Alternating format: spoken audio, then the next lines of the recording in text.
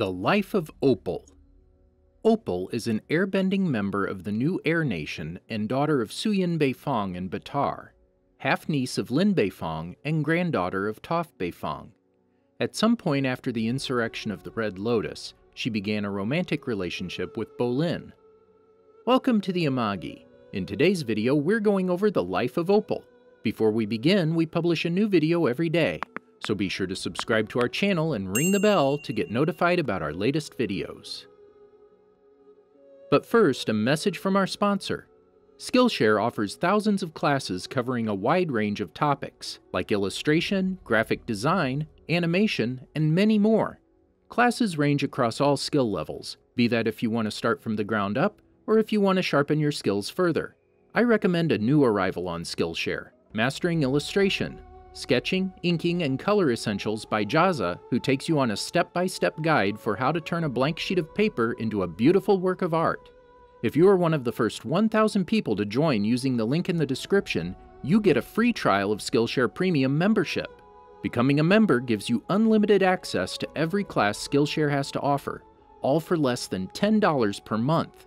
It's never too late to learn, and for everyone curious and creative, Skillshare is the place to be. And with that, let's begin with Opal's childhood.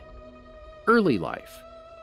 When Opal was young, Suyin took in Kuvira after she had been abandoned by her parents. One day, Opal's playtime with her dollhouse was interrupted by Kuvira, who demanded her to leave the room so she could play with the toy by herself. Opal refused and told Kuvira to get out instead. Kuvira promptly destroyed the dollhouse with her metal bending, reasoning that if she could not play with it, no one could. Angered and upset, Opal called for her mother, who chastised Kuvira for her dangerous actions. As the young metalbender stormed away, Opal wondered if her mother was not going to punish Kuvira more, but was told to cut her sister some slack.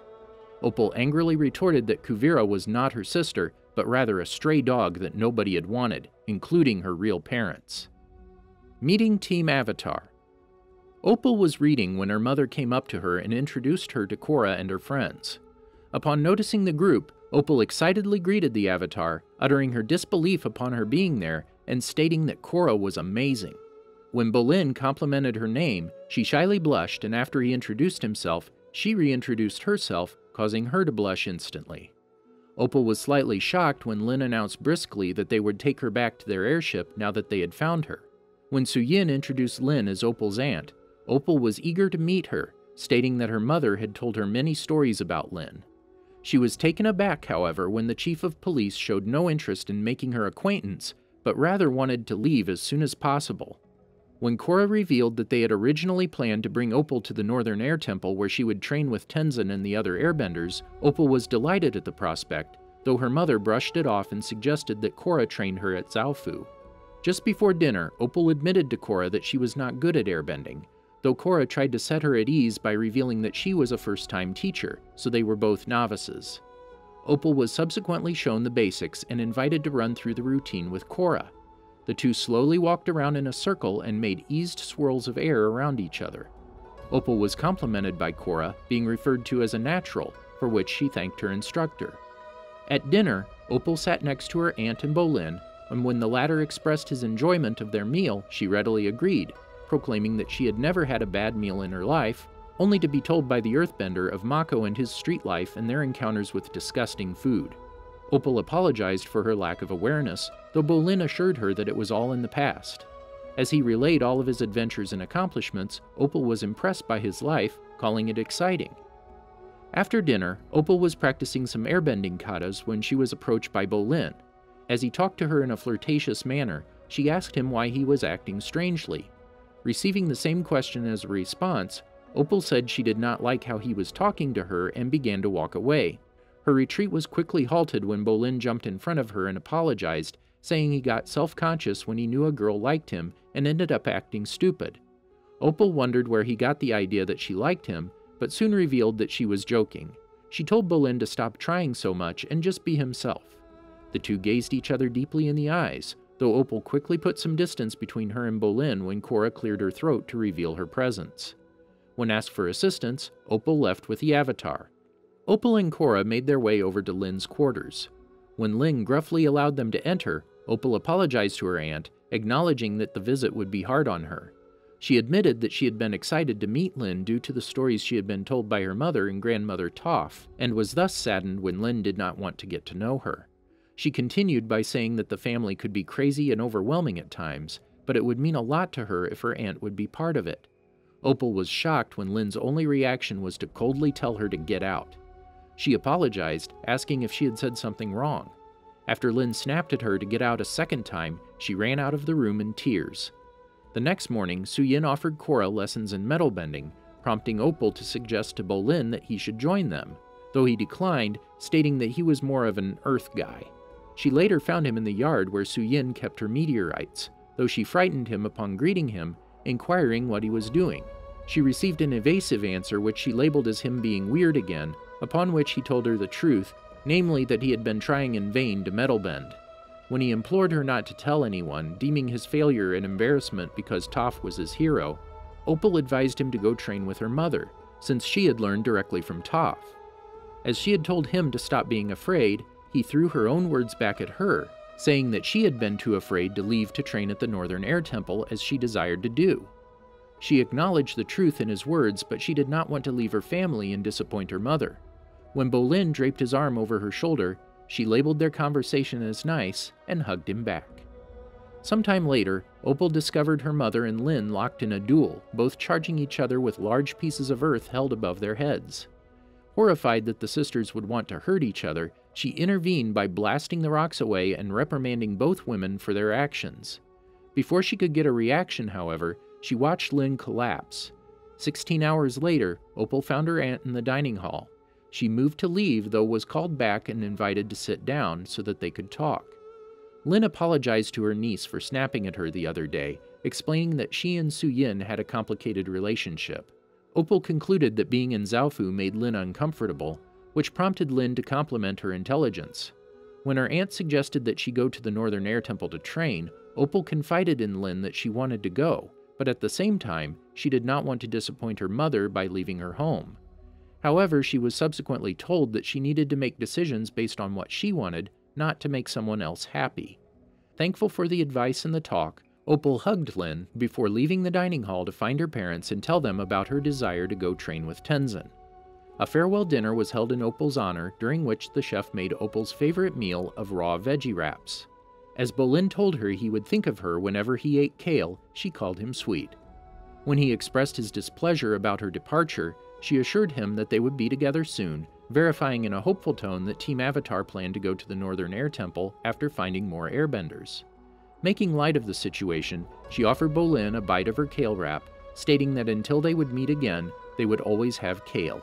She was subsequently praised in a toast by her mother for being an incredible daughter, sister, friend, and soon to be airbending master.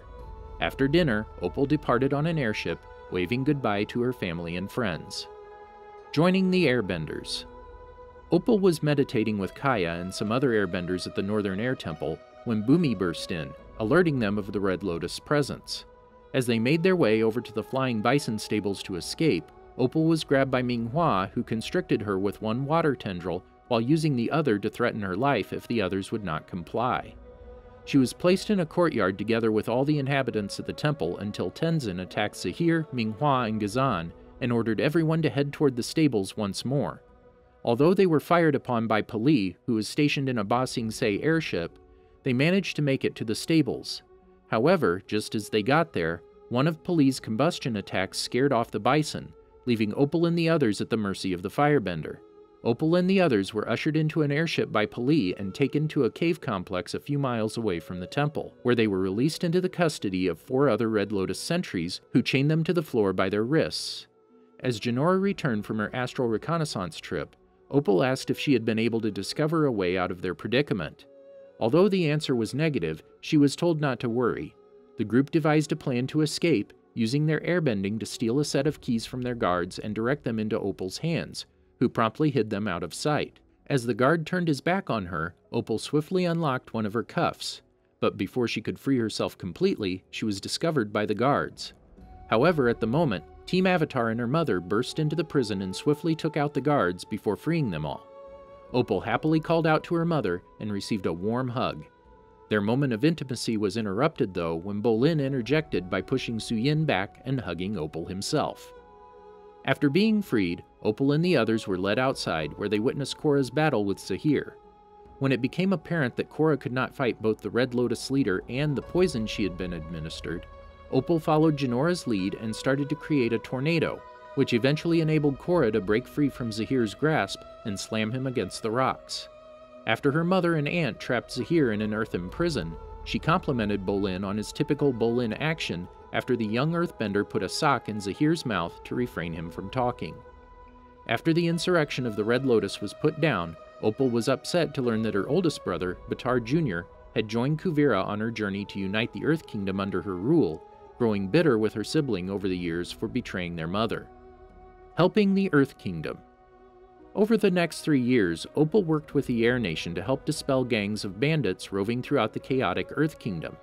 During this time, she also got romantically involved with Bolin, though the long distance between them and his support of Kuvira put a strain on their relationship and she gained a flying bison named Juicy. One day in 174 AG, she and Kai were sent toward the state of Yi to help out. As they arrived at its capital, they noticed a robbery in progress. Without hesitation, Opal and Kai jumped off Lefty and soared down on their wingsuits. After Kai tipped the bandits' jeep, sending the three criminals flying, she softened their impact with a small blast of air.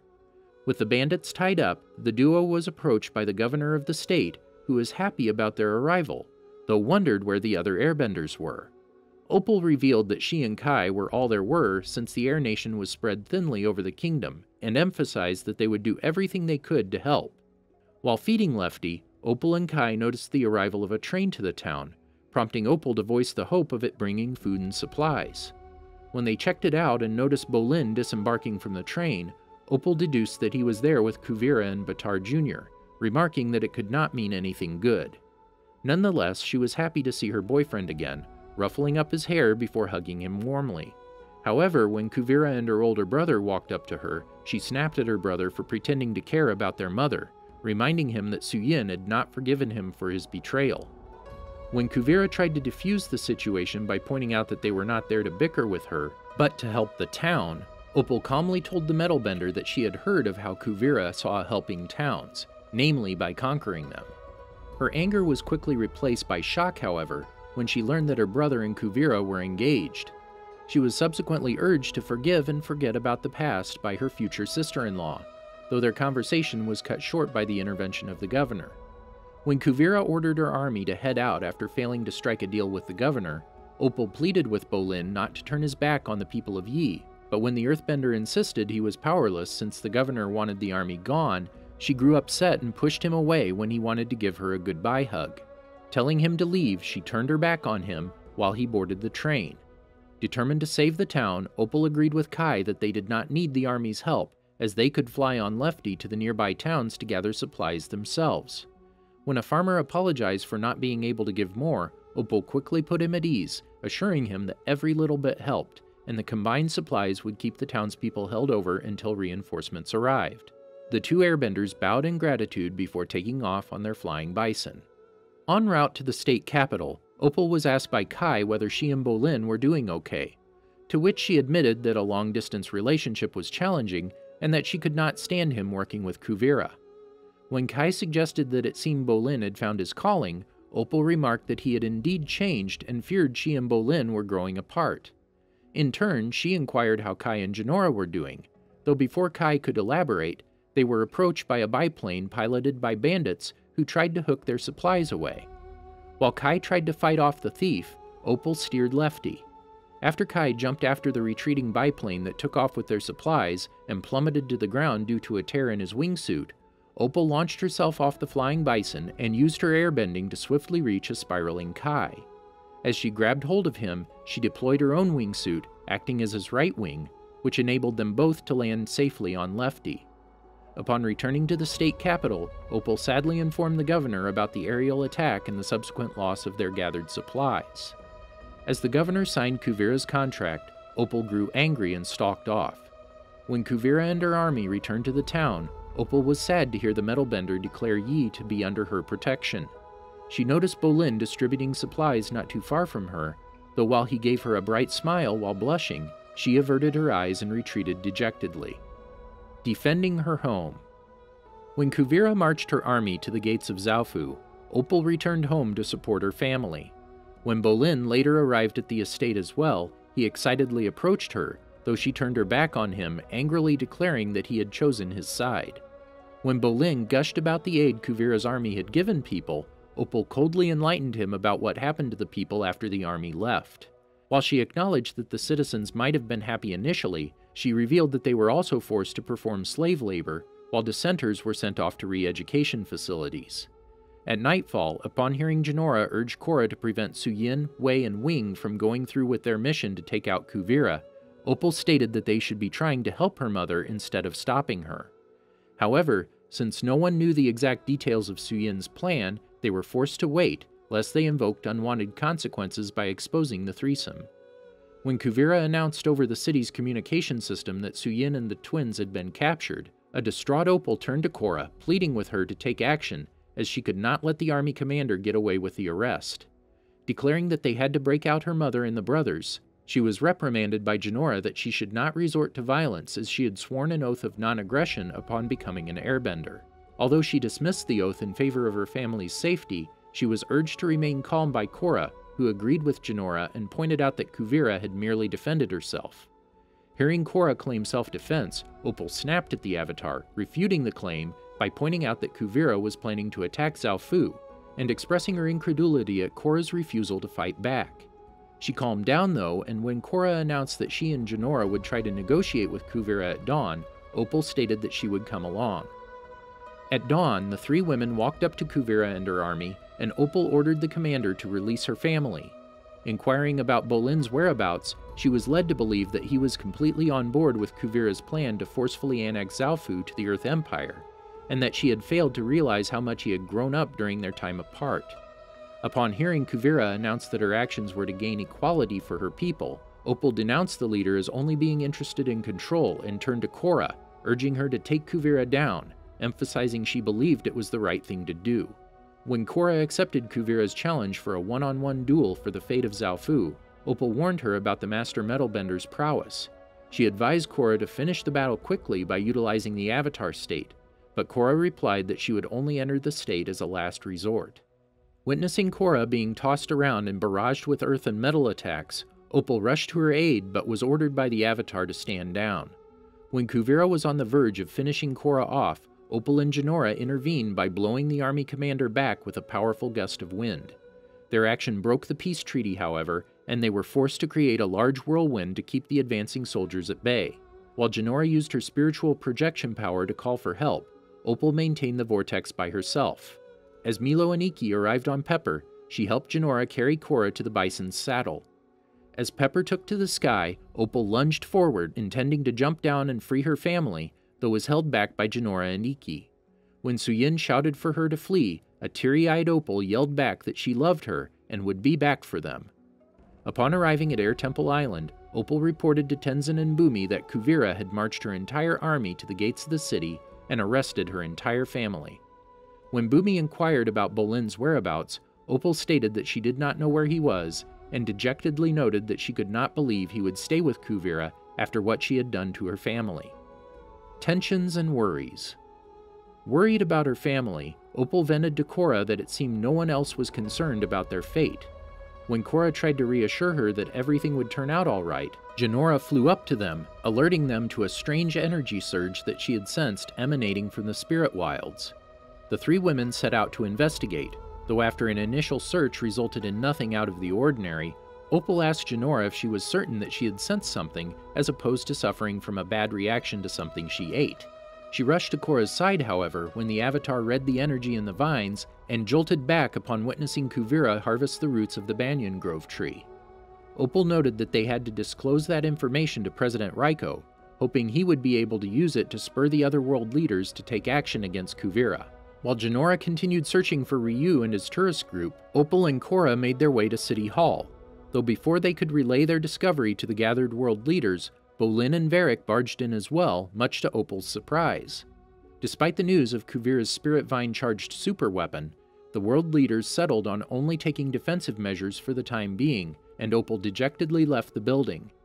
Bolin stopped her from leaving, however, as he wanted to apologize to her for all he had done to her and her family. Although she was glad that he was okay, she rejected his apologies as they came too late. The conversation was interrupted when Lin asked if she could have a private word with Opal, who promptly left Bolin standing by himself. After her aunt told her that they would have to save their family by themselves, Opal's suggestion to ask some of their friends to accompany them was shut down, since Lin did not want to risk anyone else's life on their unsanctioned and dangerous mission into enemy territory. Opal retreated to Air Temple Island, where she passed the time by reading a book. Her leisurely activity was interrupted, however, when Pabu ran up to her and demanded her attention.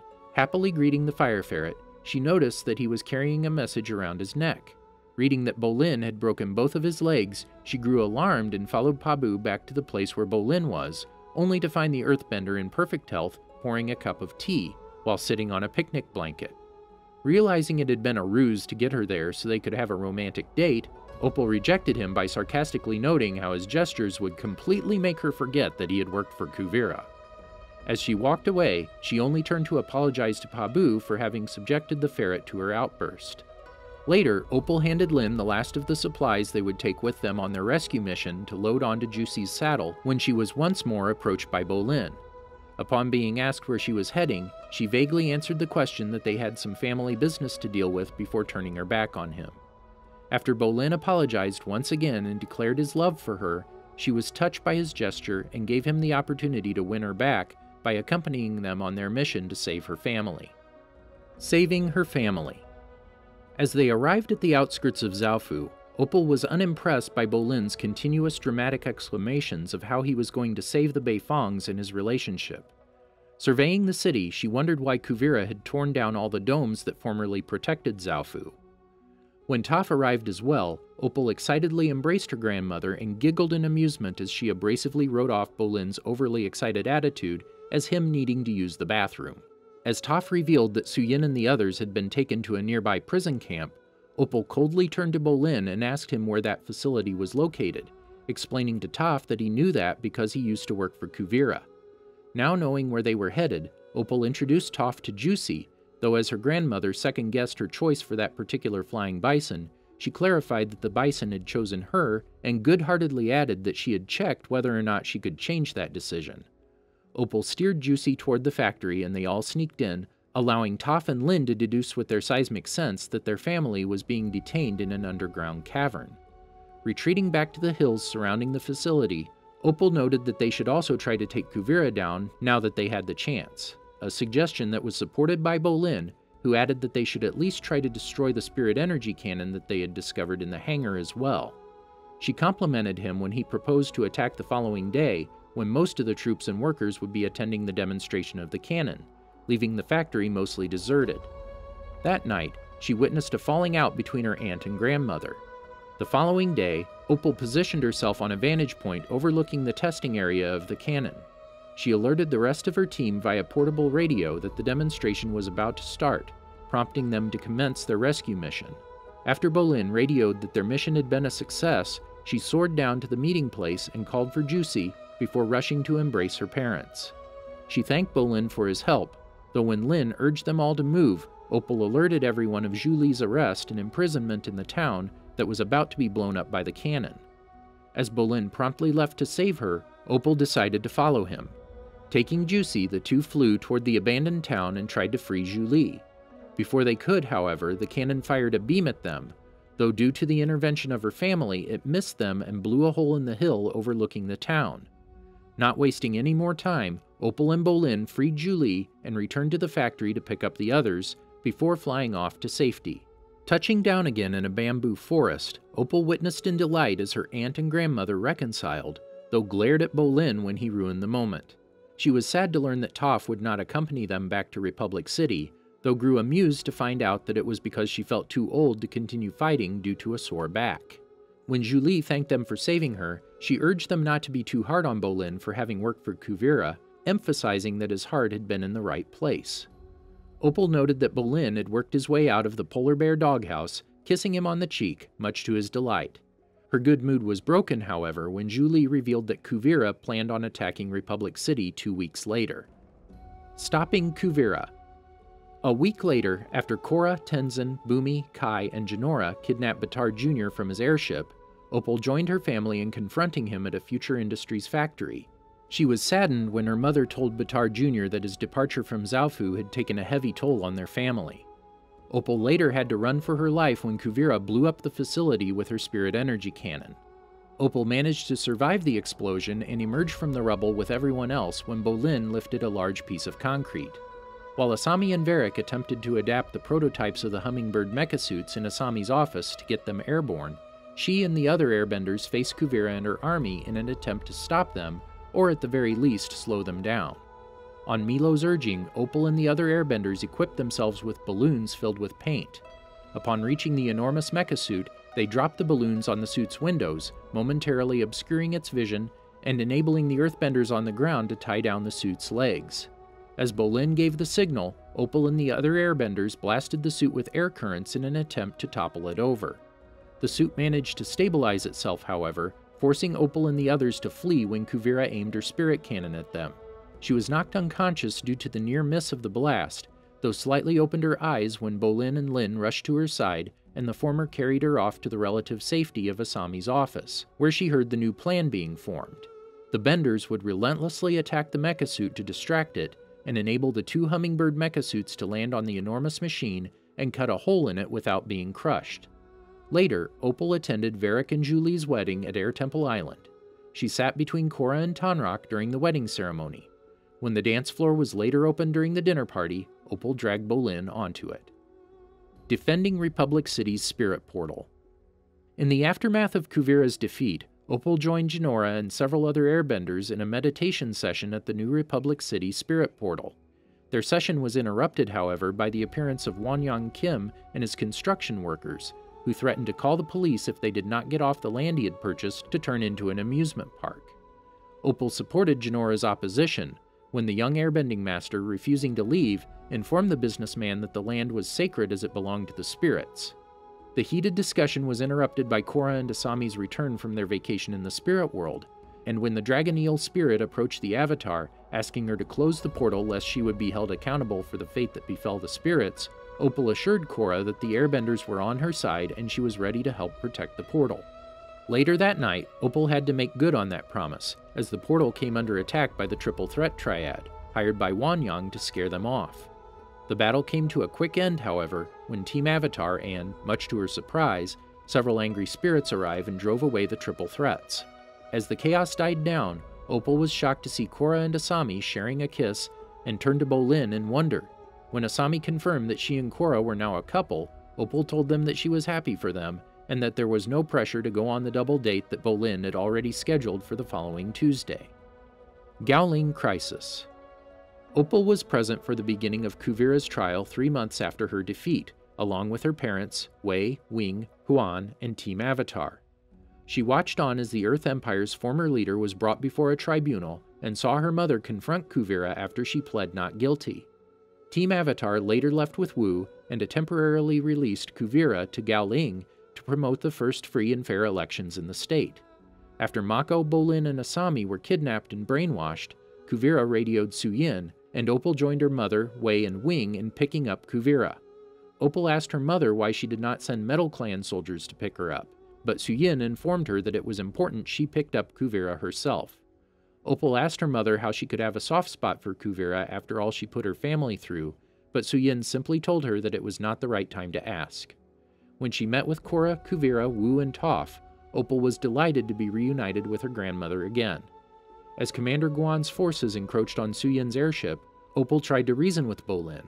Seeing reasoning with the victims of brainwashing would be futile, Korra and Opal tried to capture Mako, Bolin, and Asami by stunning them with an airbending attack and having Suyin, Wei, and Wing snag them with metal cables.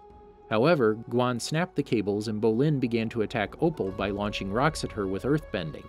She deflected one rock with airbending, but the second struck her on the shoulder before she collapsed unconscious. Her brothers rushed to her aid and she was carried back onto the airship before it made its escape. As the ship took off, Opal's grandmother comforted her. Upon their arrival in Zaofu, Su had Wei and Wing escort Opal to her room and had them call the medic, despite her daughter's insistence that she would be fine.